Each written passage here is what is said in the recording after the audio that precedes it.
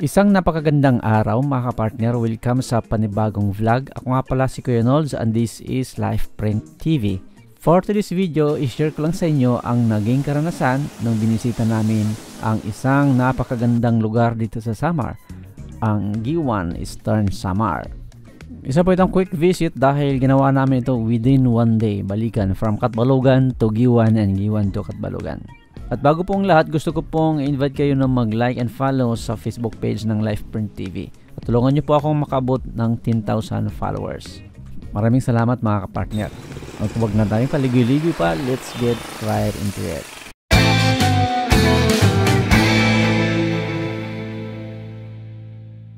Ang Gewan ay makikita sa musling bahagi ng mapa ng Samar. Mula sa Katbalogan, aabot ito ng more or less 230 kilometers and almost 500 kilometers back and forth. At ang challenge dito ay gagawin namin ito sa, sa loob lamang ng isang araw. Dapat makauwi kami ng Balogan sa hapon. Kasama ko nga pala dito si Engineer Donny Reyes ng Silangga. Morning guys, dito kami ngayon sa bayan ng Kalbiga. Uh, we're having breakfast, breakfast kasi today pupunta kami ng Eastern Samar sa Giwan. Uh, ito ay yung unang biyahe namin this 2022. Um, ang goal namin is mapuntahan namin yung Giwan within a day. Tingnan natin kung makakaya to 50 kilometers. So kung magbabalik ka, makabagitahin 500 kilometers. So more or less 500 kilometers dito. Umalis kami ng Katbalogan ng 5.30 am at nakaabot kami ng Kalbiga for breakfast ng 6.30 am.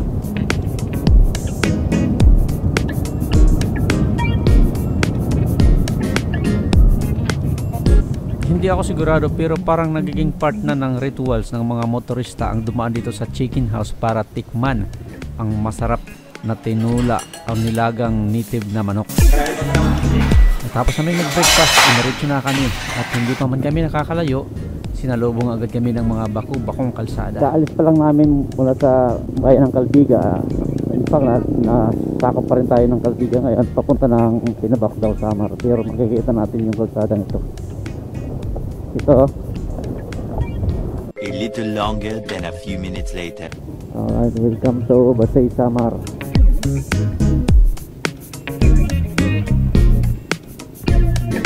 Ayan guys, nasa basi na kami. Ah, dito dito yung gumagawa ng ah, ng ng banig. Tingnan natin kung madadaanan natin yung gumagawa ng banig. Ito namang crossing na ito nakakita natin guys. Ito yung sa kalit sa kanan ay papunta ito sa Eastern Samar. Yung sa kaliwa, ito yung papunta sa Soton Nature Park.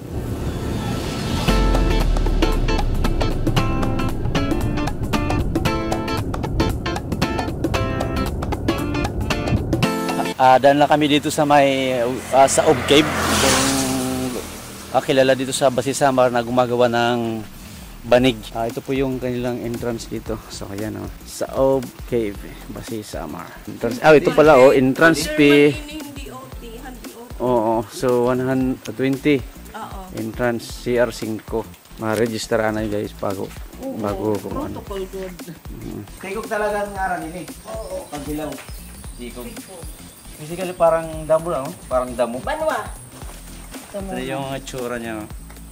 Ah, marami, ah, sigurado marami pang istorya ang hindi pa natin alam tungkol dito pero hindi natin i-cover kasi ba madali tayo.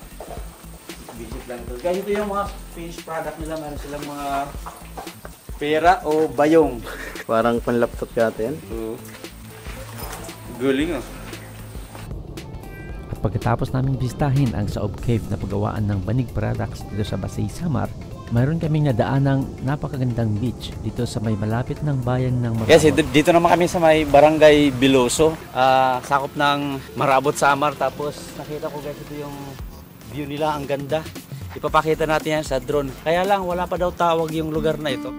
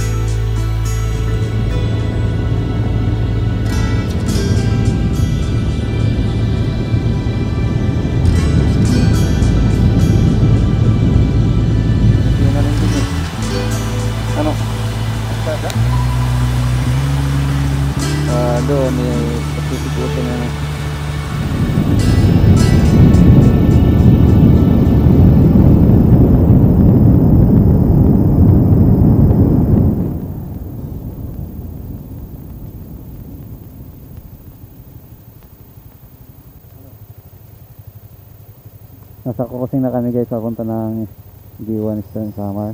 Let's go. Tara. Kaya pag iwan na ini. Thank you. Nung una kong mapuntahan ang Giwan Eastern Samar noong year 2014, one year after ng bagyong Yolanda, major part ng kalsadang ito ay rough road. Pero matapos ang ilang taon, ito na ang kalsada, sobrang napakaganda. Mula doon sa intersection hanggang sa Giwan Eastern Samar ay hindi man lang ako nakaranas ng mga baku-bakong party.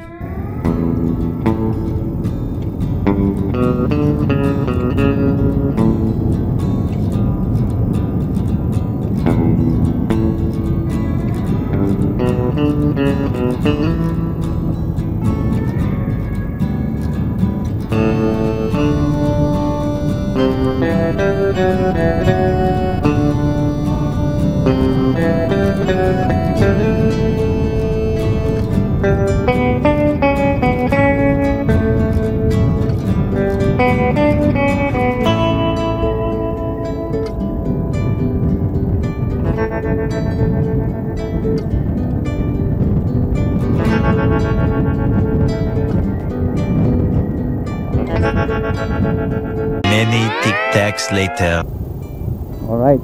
welcome to B1 Eastern Summer. Dito na kami. Nahanap muna kami ng restaurant. May nanananghalian lang. Pasado alas 12 na nang marating namin ang bayan ng Giwan Eastern Samar dahil naabtala kami sa ulan at in-enjoy namin yung mga lugar na aming nadaanan. Ito yung bayan ng Giwan Eastern Samar. Hindi ko mapigilan lumingon kaliwa at kanan dahil ang bayan na ito ay isa rin sa na-wipe out noong panahon ng Yolanda way back November 8, 2013. Mga kapartner, dito na kami sa bayan ng Giwan Storm Summer. Uh, Maghalian lang kami and then after dito, proceed na kami sa island ng Kalikuan. Almost uh, one minute before 1 o'clock. So medyo delay kami dahil napaka ganda ng mga pinagdadaanan namin. So kailangan namin kunan ng mga drone shots, yung mga pictures, videos. Napakaganda ng Giwan Storm Summer. Ano na mo, ano masasabi mo sa kalsada? Ano naman ako sa rin yung kalsada ng Giwan? Grabe, ma, napakagandang kalsada dito kaysa sa Western? Samar. Enjoy sa rides. Chill ride lang. Feeling ko nga na ikaw kung nag- nagbabangking-bangking ka. Kaso kaya di ka man rin, mahina yung manak. Oo. Oo, grabe Medyo yun. banking, medyo, ba, medyo banking lang pero okay na. Mas maganda dito. Nakaka-enjoy, no? Oo. Nakaka-enjoy ka Chill ride lang hanap nyo. Punta na kayo dito sa Giwan. Hindi na mahigpit dito mga kapartner yung sinabi ko kanina, titingnan natin kung mga, may mga requirements pa na kailangan bago pumunta dito. So far, mula doon sa Katbalogan hanggang dito, wala naman kaming hindi naman kami pinahinto dahil sa checkpoint. May mga checkpoint sa kalsada pero hindi na sila nagsisita. Ang Giwan ay isang municipality ng Eastern Samar na napapabilang sa second class at pinaninirahan ng mahigit 50,000 na mga waray nun. Gaya ng ibang mga lugar ng Samar, ang bayan na ito ay puno rin ng mga makasaysayang pangyayari. Mayroon ditong nasasakupang maliit na island na tinatawag na Humunhun na pinaniniwalaang noong 16th century dito unang dumaong si Ferdinand Magellan nang madiskubre niya ang Pilipinas. Isa rin sa mga pinakamatandang simbahan ay makikita dito sa bayan ng Giwan Eastern Samar na itinayo pa noong 1595. Hindi lang sa history mayaman ang lugar dahil ito ay isang coastal town, maraming mga nagagandahang baybayin ang lugar na ito. Kaya ito ang ating pupuntahan ngayon. Ito naman ang merkado nila oh. Merkado ng Giwan. Ganda oh. Okay, ito na ang terminal. Uh, Giwan Integrated Transport Terminal. Ito. Ah. Dito may mga store. Hindi sa gilid. Ito naman. Napakaganda naman ang terminal nyo eh. Lawak oh. Malawak pa ito kay Saksak. Katbalugan. Fairness. Oh. Good dito naman may boulevard. Wow. So ito pala yung sinasabi nila. Pasyalan. Guys, dito naman tayo sa likod ng uh, Giwan Integrated Terminal. No, saan napaganda ng pagkakagawa. Ah, may may mga ganitong waiting shed tapos may mga upuan doon na siguro pag hapon kuya kuya taga dinig ka Taga Manikani. ang Manikani ito daw ang island ng Manikani Manikani oh. sa island ng Manikani ma- marami yung barangay din ano uh, Buena Vista Basta, Morawon. Morawon Banaag. San Jose Banaag. Apat lang. apat. So yun ang mga barangay. Pero isa meron meron ano may may mga pasyalan la, like beach Oo. no? Ah, sa kabila din ma- at makita natin yung yung historical island dito sa Samar yung Kumunhon Island na kung saan ito yung island na di, dyan, dyan unang nag Kung si... dumaong si Marco, o si... Magellan. Magellan ano tapos mayroon ding ah, beach doon ang tawag Habag Habag. Habag oh, Habag Beach tapos may mga accommodation din na pwedeng tulugan doon may mga ano lodging ano Opo. Tapos mga pera nga barangay may dangad to. Ulo, luwag ano? Diri abong to. So, sakop lang talaga yan Giwan Stern sa Amaro. Ano. Ganda, no? Next time, goal natin yun. Tapos, paano naman makakapunta doon? Sasakay ka ng ano? Bar, bar, down. By boat, ano? By boat, mga... Magkano kaya yung ipapasahe yun to? 100. 100. Ah, 100. Balik. Bakan for 200. 200. Okay, 200 pala. Bali, one way, 100. May idea na tayo. Sa Manikani Island naman, mga ilang, magkano yung pamasahe? 40.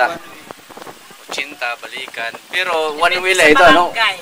Isang, Kasi apat na barangay, doon sa barangay Morawan, 50 yun dahil medyo mas malayo. Yung, yung sa kanya yung sinasabi, barangay yung Pinavista. nasa harap. Oo, yun, at Mm. 40. Pero, kinabukasan ka pa makakauwi. Pwede ngayon araw kung gusto nyo bumalik. Papakyaw. Pakyaw na. Okay. Pero yung mga pasahero san, one way lang talaga kung normal. Papapi! Alright, sige. Maraming salamat. Okay, tapos na kami dito sa G1 proper. Pupunta na kami ngayon sa silang Sulangan. Sa ah, Kalikuan Island.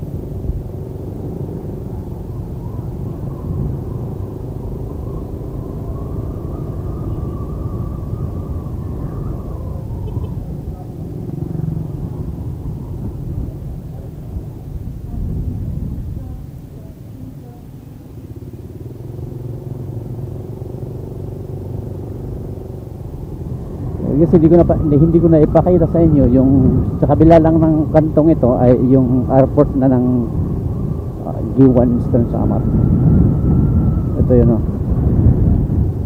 Dito yung runway niya. Pero hindi na makikita. So on na kami ngayon papunta sa Kalikuan Island at sa Sulangan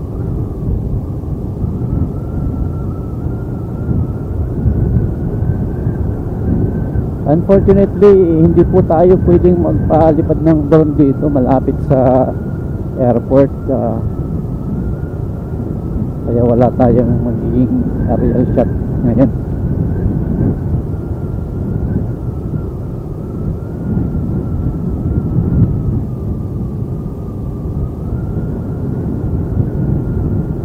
More moments later. Tingnan mo naman guys. Nakalimutan kong pangalan ng lugar na ito.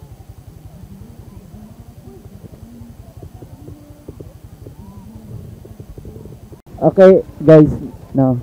Nakikita nyo maraming naliligo pero yung dagat talaga dito ay malayo. Ito ay parang nagsisilbing swimming pool yung mga yung da- yung dagat na naiwan dito. Parang na-trap ng mga bato at naging still water at napakasarap paliguan kasi clear water din siya tapos malinaw at nagsilbing pinaka beach ng mga taga rito. Ito yung tinatawag na pag pagnamitan. Pagnamitan bridge yung tawag dito. Ito naman yung barangay ng pagnamitan.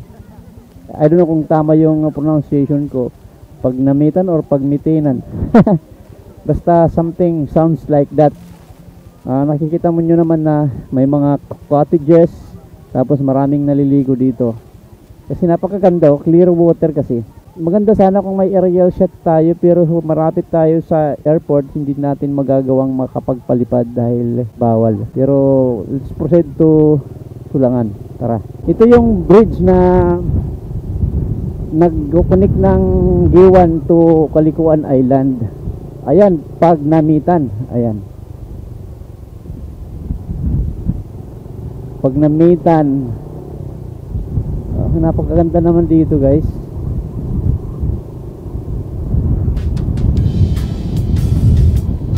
Tara di.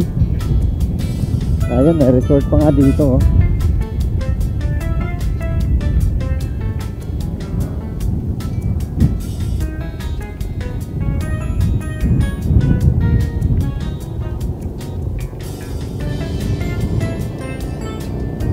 Sa dulo ng kalsadang ito, mayroon dito, mayroon doon barangay na isa rin sa mga dinadayo ng mga turista yung Linaw Cave. Hindi ko alam kung mapupuntahan ba namin ngayon kasi parang kakapasin kami ng oras. So basically pupunta kami ngayon sa Sulangan at titingnan natin kung maabot natin yung lugar na yun pero for sure hindi na namin mapupuntahan ang linaw mismo sa may Cuba dahil kulang na nga sa oras